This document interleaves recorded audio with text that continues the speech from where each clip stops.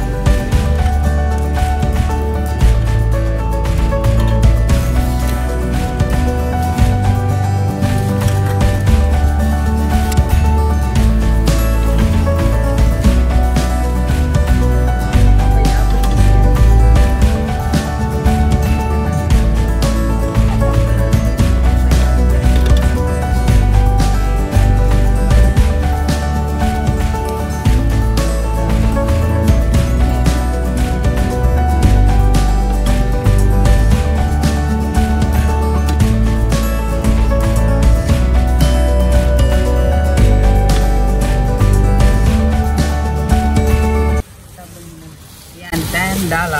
Pay out. Sandali.